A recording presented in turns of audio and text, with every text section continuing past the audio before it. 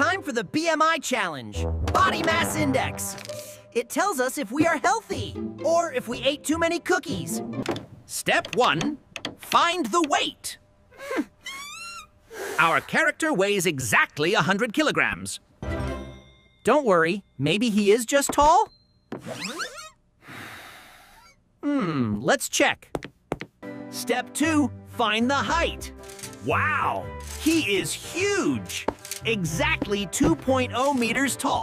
Now we have our numbers 100 kilograms and 2 meters. Here is the formula. Weight divided by height squared. Most people forget to square the height. If you forget, the math goes wrong.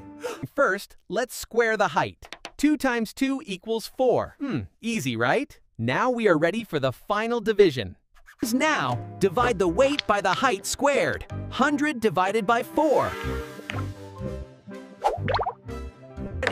If the number is over 25, he is in the danger zone. The tension is rising. The, answer is 25. He, he is exactly on the borderline of normal and overweight. That was too close. 25 is technically safe. We survived the BMI challenge. What is your BMI? Calculate it, but don't break the scale. Subscribe for more health math.